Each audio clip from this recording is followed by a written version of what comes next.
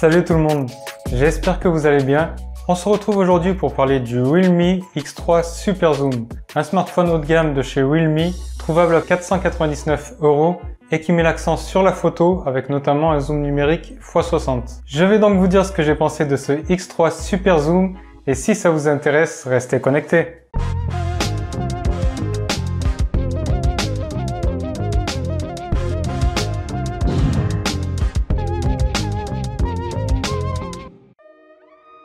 Avant de commencer, je tenais à préciser que ce X3 Super Zoom est le modèle 12 Go de RAM, 256 Go de stockage et qu'il m'a été fourni par Realme pour que je puisse réaliser un test. Si vous êtes intéressé, je vous ai mis des liens en description de la vidéo.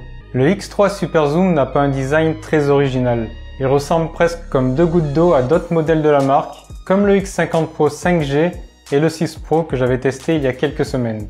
On a donc un smartphone sans encoche avec des bordures réduites sur le côté et un menton légèrement plus épais. Les deux capteurs photo avant sont logés dans un poisson sur l'écran, en haut à gauche. Le ratio taille-écran est de 90,5%. Les contours de couleur gris ont un aspect métallisé réussi et on y trouve sur la gauche le bouton de déverrouillage idéalement placé qui fait aussi office de capteur d'empreinte. Sur la droite les touches de volume facilement accessibles et en dessous le port USB Type C et le logement pour deux cartes nano SIM. Le dos est la partie la plus réussie à mon goût de l'appareil, la plus originale aussi. Il est courbé, très agréable en main, entièrement de couleur blanche et avec des reflets très réussis. Et chose appréciable, les traces de doigts ne sont pas particulièrement visibles, ce qui est plutôt bien. A noter que le smartphone est aussi disponible en couleur bleu glacier pour ceux qui ne veulent pas d'un modèle blanc. Habituellement sur cette gamme de prix, les meilleurs appareils sont dotés d'un écran OLED. Ce n'est pas le cas ici. Le X3 Super Zoom est équipé d'une dalle LCD IPS de 6,6 pouces et d'une définition Full HD+, en 2400 x 1080 pixels. Il est possible de modifier le rendu colorimétrique dans les paramètres pour l'ajuster à nos goûts si les réglages par défaut ne nous conviennent pas. Le taux de contraste est quant à lui du coup forcément moins élevé que ce que l'on pourrait avoir avec du AMOLED, mais cela reste finalement assez bon. Alors pourquoi avoir fait le choix du LCD quand la concurrence dans cette gamme fait le choix du AMOLED? Tout simplement dans le but de réduire les coûts et de pouvoir proposer un taux de rafraîchissement de 120 Hz, qui permet à l'écran d'être d'une fluidité exemplaire, bien qu'encore beaucoup d'applis ne soient pas compatibles. C'est simple, une fois qu'on s'y est habitué, on a un peu de mal à repasser sur du 60 Hz classique. Nos yeux mettent un peu de temps à s'y habituer. Nous avons le choix de laisser le mode automatique pour que le système choisisse de lui-même le taux de rafraîchissement le plus adapté à une appli, de forcer le mode 120 Hz ou de forcer le mode 60 Hz pour économiser de la batterie. Comme les autres smartphones de la marque sortis récemment, ce X3 Super Zoom tourne sur Realme UI, une interface basée sur ColorOS 7 et Android 10. On est donc maintenant sur un système très réussi et assez proche d'Android stock visuellement. Les différences avec ColorOS ne sont pas nombreuses, mais peu importe au fond, ce qu'on demande à cette interface, c'est d'être complète et fonctionnelle, et c'est le cas. On retrouve la navigation par geste, le mode sombre tendance, mais utile pour réduire la fatigue des yeux et la consommation, mais aussi un tiroir d'applications qu'on est libre de désactiver pour laisser place à un système de bureau plus proche d'iOS. Dans un but de proposer un excellent rapport qualité-prix sur son X3 Super Zoom, Realme a décidé de l'équiper non pas du dernier processeur haut de gamme de Qualcomm, mais de celui de l'année précédente, le Snapdragon S855 Plus, couplé à 12 Go de mémoire RAM. À l'utilisation, le smartphone se révèle fluide dans toutes les circonstances. Le combo S855 Plus et 12 Go de RAM se montrant très performant dans n'importe quelle application. Et bien que le Snapdragon 865 lui soit supérieur, dans les faits, peu d'applications utilisent sa pleine puissance et les différences entre les deux SoC se feront surtout ressentir dans quelques années. Alors que si Realme avait opté pour un SoC de milieu de gamme actuel, la différence aurait été déjà plus visible. Le GPU est un Adreno 640 et il se révèle très performant en jeux vidéo. Il n'y a pas de problème pour faire tourner tous les jeux du Play Store dans les réglages élevés et avec une excellente fluidité, accentuée sur certains jeux par l'écran 120 Hz. Pour la partie photo vidéo de son smartphone, Realme a décidé de l'équiper d'un quadruple module arrière avec un capteur principal de 64 mégapixels à ouverture f1.8, un capteur ultra grand angle de 8 mégapixels à ouverture f2.3 un périscope de 8 mégapixels à ouverture f3.4 et enfin un capteur macro de 2 mégapixels à ouverture f2.4. On a donc un smartphone qui se veut polyvalent en photographie, et c'est le cas. Mais pour un smartphone dont la publicité a été axée en grande partie sur ses capacités en photo, je m'attendais à des performances de haute volée dans ce domaine et j'ai été déçu. Non pas que les clichés soient mauvais, mais ils oscillent trop souvent entre le moyen et le correct, selon le mode choisi, et sont plus rarement parfaitement convaincants. Les photos prises avec le capteur principal en plein jour sont habituellement la vitrine des capacités photo sur un smartphone. C'est censé être ce qui se fait de mieux sur un appareil. Ici, le rendu global des clichés avec le capteur Samsung GW1 de 64 mégapixels est juste correct. La faute a un manque de piqué et a une quantité de détails curieusement faible à certains endroits de l'image. Par défaut avec ce capteur, l'appareil shoot en 16 mégapixels en utilisant la technique du pixel binning, mais il est possible d'utiliser le mode 64 mégapixels pour avoir des clichés à peine plus détaillés, mais qui prendront par contre 4 fois plus d'espace mémoire. Par contre, le rendu des couleurs et la gestion de la luminosité sont assez bons.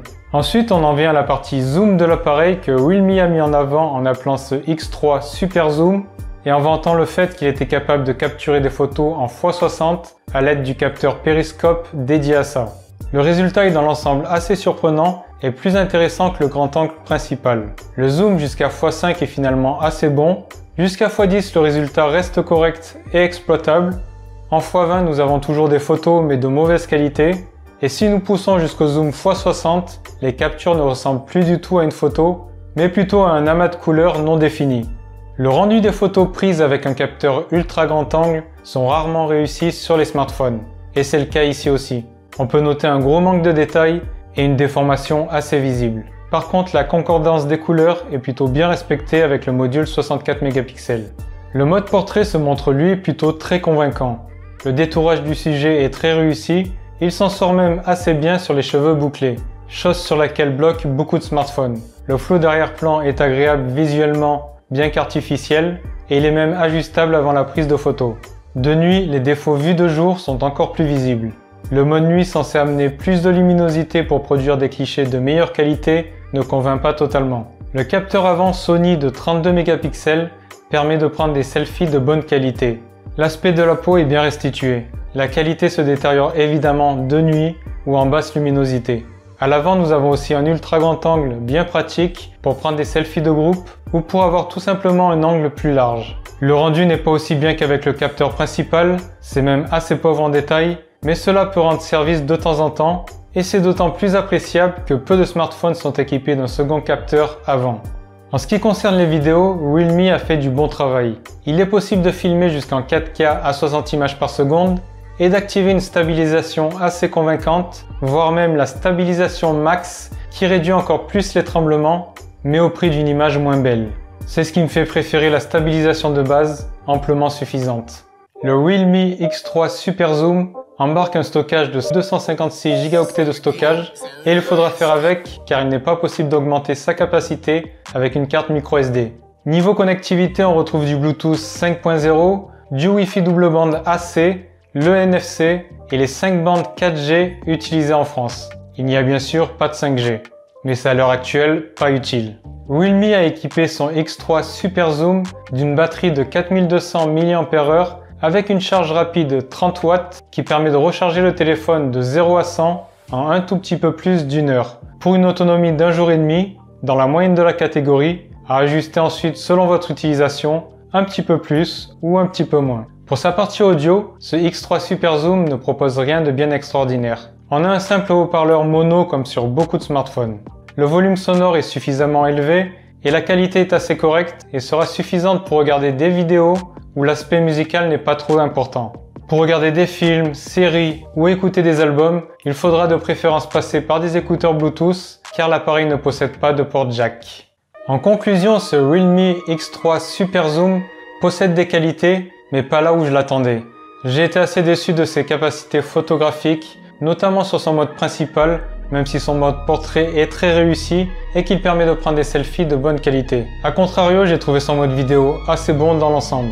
J'ai bien apprécié le rafraîchissement 220 Hz inédit à ce niveau de prix, qui apporte une grande sensation de fluidité au détriment d'un contraste moins élevé dû à l'utilisation du LCD.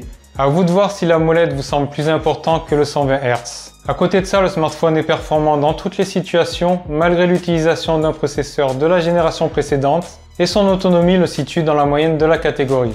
Alors dites-moi en commentaire ce que vous pensez de ce Realme X3 Super Zoom et de vos attentes sur un smartphone.